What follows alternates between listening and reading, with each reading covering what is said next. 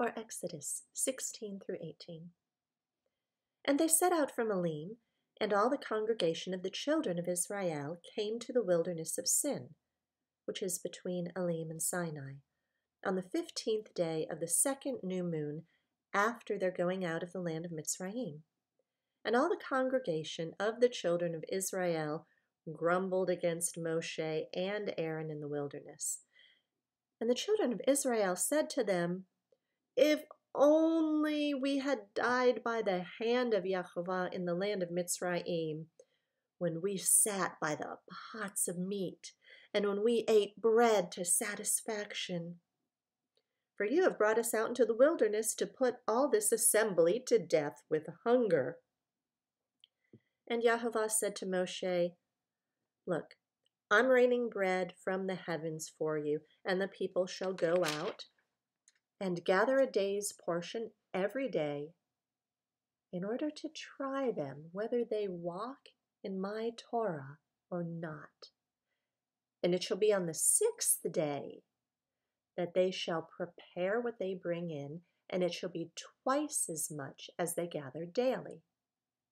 And Moshe and Aaron said to all the children of Israel, at evening you shall know that Yahovah has brought you out of the land of Mitzrayim, and in the morning you shall see the esteem of Yahovah, for he hears your grumblings against Yahovah. And what are we that you grumble against us? And Moshe said, In that Yahovah gives you meat to eat in the evening, and in the morning bread to satisfaction, for Yahovah hears your grumblings which you make against him. And what are we? Your grumblings are not against us, but against Yahovah. And Moshe said to Aaron, Say to all the congregation of the children of Israel, Come near before Yahovah, for he has heard your grumblings.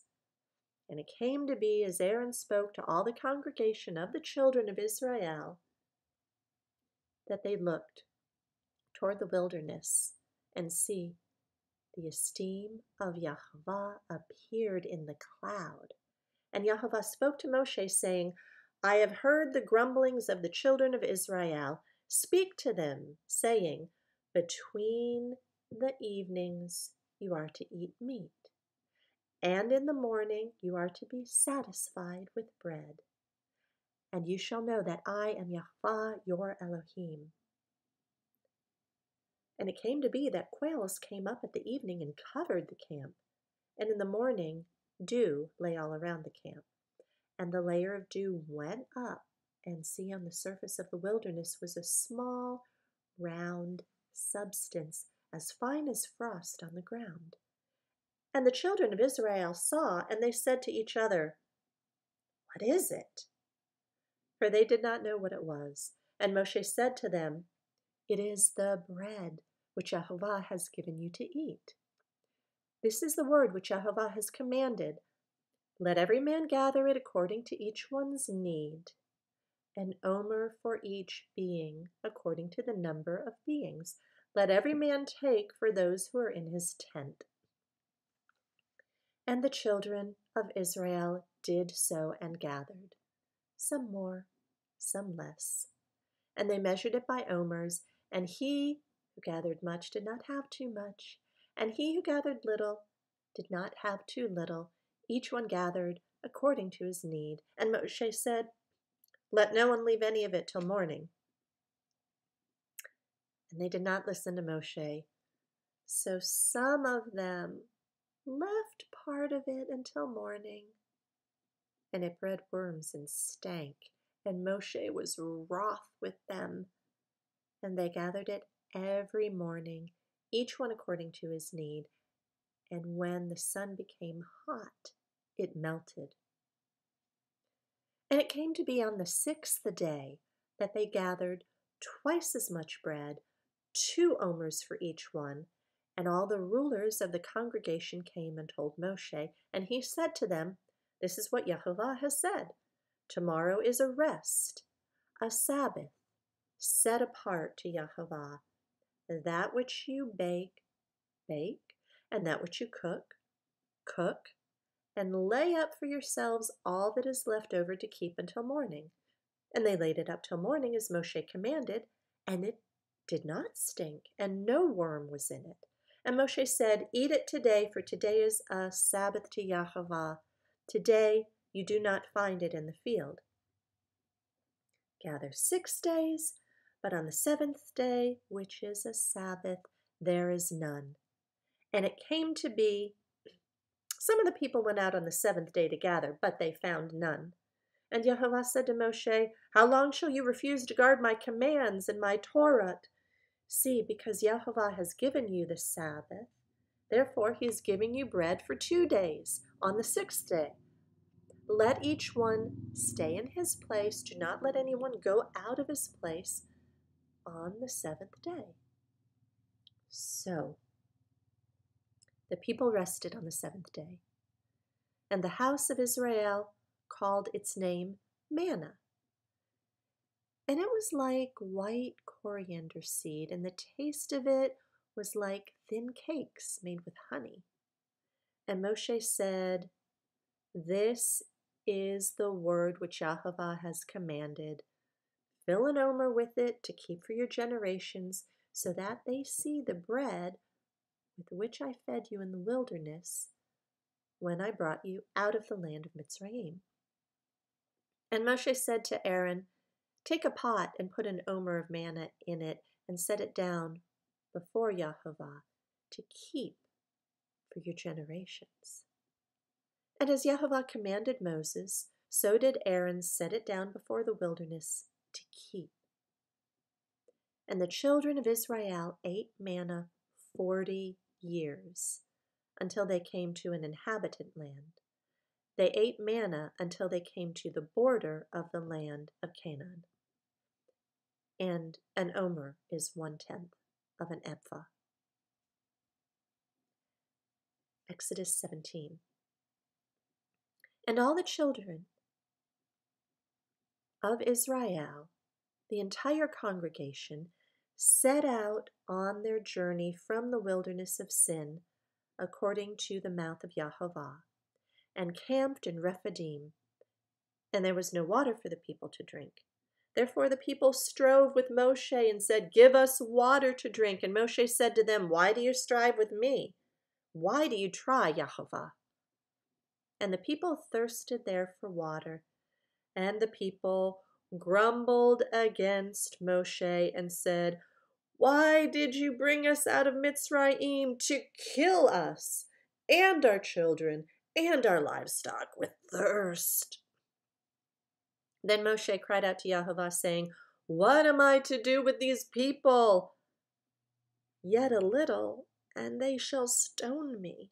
And Yahovah said to Moshe, Pass over before the people and take with you some of the elders of Israel, and take in your hand the rod with which you struck the river, and go. See, I am standing before you there on the rock in Horeb, and you shall strike the rock, and the water shall come out of it, and the people shall drink. And Moshe did so before the eyes of the elders of Israel, and he called the name of the place Massa and Meribah, because of the strife of the children of Israel, and because they tried Yahovah, saying, Is Yahovah in our midst or not? And Amalek came and fought with Israel in Rephidim. And Moshe said to Yehoshua, Choose for us men and go out, fight with Amalek. Tomorrow I'm stationing myself on the top of the hill with the rod of Elohim in my hand. And Yehoshua did as Moshe said to him to fight with Amalek. And Moshe, Aaron, and Hur went up to the top of the hill. And it came to be when Moshe held up his hand that Israel prevailed, and when he let down his hand, Amalek prevailed. But Moshe's hands were heavy, so they took a stone and put it under him, and he sat on him, and Aaron and Hur supported his hands, one on one side and the other on the other side, and his hands were steady until the going down of the sun. And Yehoshua defeated Amalek and his people with the edge of the sword.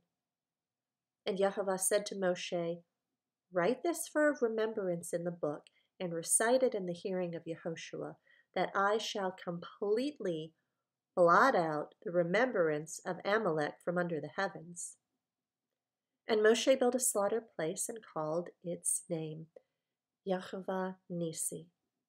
For he said, Because a hand is on the throne of Yah, Yahweh is to fight against Amalek from generation to generation. Exodus 18. And Yithro, the priest of Midian, Moshe's father in law, heard of all that Elohim had done for Moshe and for Israel, his people, that Yahovah had brought Israel out of Mitzrayim. And Yithro, Moshe's father in law, took Zipporah, the wife of Moshe, after he had sent her back, and her two sons, of whom the name of one was Gershom, for he said, I have been a sojourner in a foreign land. And the name of the other was Eleazar, for he said, The Elohim of my father was my help and delivered me from the sword of Pharaoh. Yithro, Moshe's father in law, came with his sons and his wife to Moshe in the wilderness, where he was encamped at the mountain of Elohim. And he said to Moshe, I, your father in law, Yithro, am coming to you with your wife and her two sons with her. And Moshe went out to meet his father in law and bowed down and kissed him, and they asked each other about their welfare. And they went into the tent. And Moshe told his father in law all that Yahweh had done to Pharaoh and to the Mitzrites for Israel's sake, and all the hardships that had come upon them on the way, and how Yahweh had delivered them. And Yithro rejoiced for all the good which Yahweh had done for Israel, whom he had delivered out of the hand of the Mitzrites. And Yithro said, Blessed be Yahweh, who has delivered you out of the hand of the Mitzrites and out of the hand of Pharaoh, and who has delivered the people from under the hand of the Mitzrites. Now I know that Yahweh is greater than all the mighty ones. Indeed, in the matter in which they acted proudly above them. Then Yithro, the father in law of Moshe, brought an ascending offering and other slaughterings unto Elohim. And Aaron came with all the elders of Israel to eat bread with the father in law of Moshe before Elohim. And it came to be on the next day that Moshe sat to rightly rule the people. And the people stood before Moshe from morning until evening. And when the father in law Moshe saw all that he did for the people, he said, What is this that you are doing for the people? Why do you sit by yourself and all the people stand before you from morning until evening? And Moshe said to his father in law, Because the people come to me to seek Elohim. When they have a matter, they come to me, and I rightly rule between one and another, and make known the laws of Elohim and his torot. And the father in law of Moshe said to him, What you're doing is not good. Both you and these people with you shall certainly wear yourselves out, for the matter's too heavy for you. You're not able to do it by yourself. Now listen to my voice. Let me counsel you, and Elohim be with you. Stand before Elohim for the people, and you shall bring the matters to Elohim. And you shall enlighten them concerning the laws of the torot, and show them the way in which they should walk in the work which they do. But you yourself seek out from all the people able men who fear Elohim, men of truth, hating unfair gain, and place these over them to be rulers of thousands, rulers of hundreds, rulers of fifties, and rulers of tens. And they shall rightly rule the people at all times. And it shall be that they bring every great matter to you, but they themselves rightly rule every small matter. So make it lighter for yourselves, for they shall bear with you. If you do this word, and Elohim shall command you, then you shall be able to stand, and all this people also go to their place in peace. And Moshe listened to the voice of his father in law and did all that he said. And Moshe chose able men out of all of Israel and made them heads over the people, rulers of thousands, rulers of hundreds, rulers of fifties, and rulers of tens. And they rightly ruled the people at all times. The hard matters they brought to Moshe, but they rightly ruled every small matter themselves. And Moshe sent off his father in law, and he went away to his own land.